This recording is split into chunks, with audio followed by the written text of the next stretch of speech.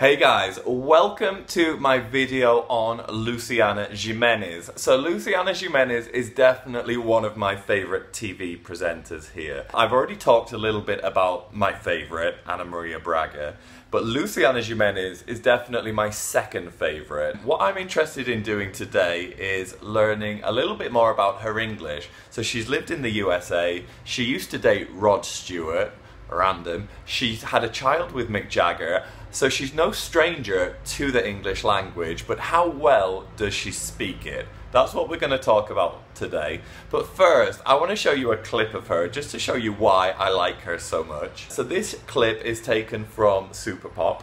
This is the TV show she hosts. And every episode starts the same. Watch this. The audience is clapping, Luciana Gimenez is waiting for her moment. Here she is! And she used to be a model. Watch the way she's walking on. There's a silence. The queen has arrived. She turns. Olá, boa noite! Oh! That is really assertive. That's quite, that's quite aggressive. Watch this. Tudo bem com vocês? Tudo bem com you know what it reminds me of? This. Are you not entertained? Are you not entertained?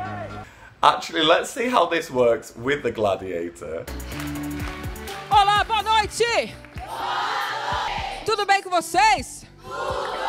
So yeah, she's uh she's quite a dominant, she's quite assertive. I just I think she's great. And she speaks English. Let's see how well she speaks it. So what I have today is a clip from an interview she did with Donald Trump Jr. like a couple of years ago. Let's have a look at this.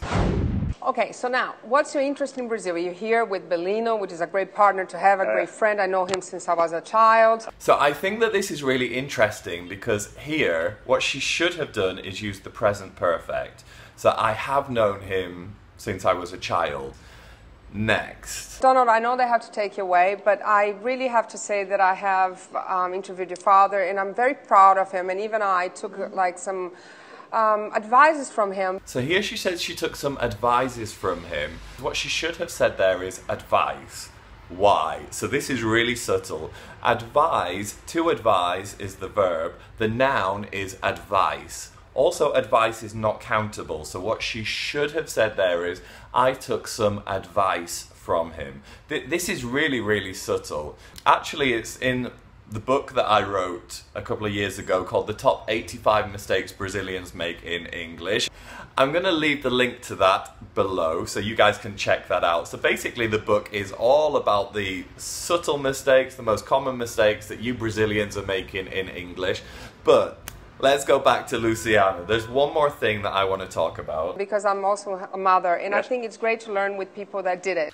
So there she said she thinks it's great to learn with people. So what she should have said there is it's great to learn from people. Why? You learn from a teacher. You learn with your classmate. So if you learn with someone, you're learning at the same time. If you're learning from someone, you are learning from a teacher or somebody who can teach you something. Does Luciana Gimenez speak English well? Yes, she does. The mistakes that she's making are quite subtle. I've noticed I'm correcting a lot of these mistakes in my classes. So I hope that you guys have learned something from this video today.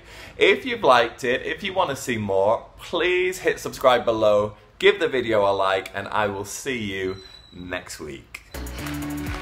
Olá, boa noite!